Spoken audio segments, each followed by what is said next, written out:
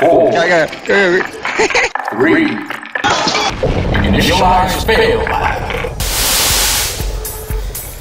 My name is Crystal Dilworth, and I'm a PhD candidate in molecular neuroscience at the California Institute of Technology. Today in the Fail Lab, we have Dr. Christopher Schmitt of the University of California, Los Angeles. Christopher is a postdoctoral scholar in primate behavior, evolution, and genomics, and he's a columnist for Nature. Sexual selection.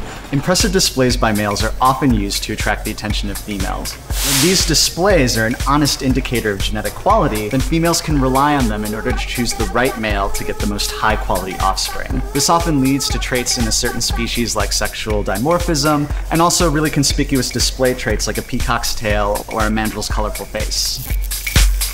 But because humans are not sexually dimorphic, males and females don't look completely different. We rely on behaviors to demonstrate our genetic quality to potential mates. Let's look at an example. Yeah, go on. Go, go, go.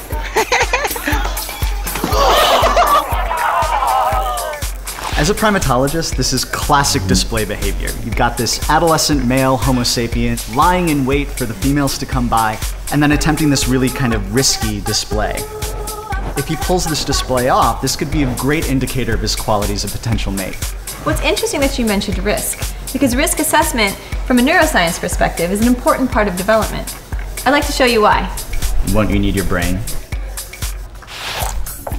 The human brain develops back to front. This region here, the prefrontal cortex, is the last region to develop, and it's the one responsible for analyzing risk versus reward. So at this stage, our adolescent quite literally doesn't have a fully developed brain.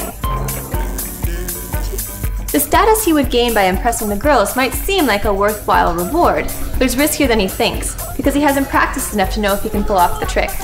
We often see this kind of behavior in adolescent male chimpanzees in the wild as well, where they'll kind of crash around and drag branches, and usually it's ignored by the other adults in the population.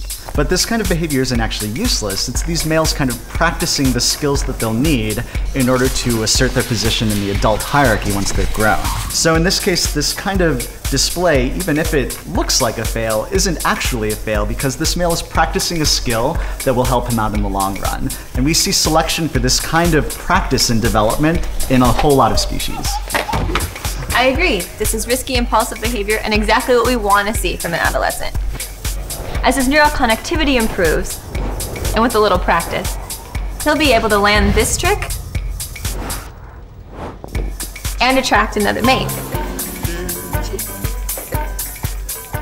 So our fail video is actually a big win.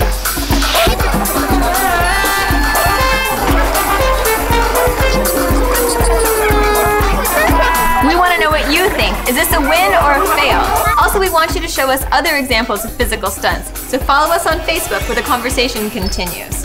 Many thanks to Dr. Schmitt. Thank you, Crystal. And thanks to all of you for stopping by. We'll be back next week with more science. But until then, when you just want a little connection, but you end up with a concussion, Oh my god. Oh my god. you've got zoochosis.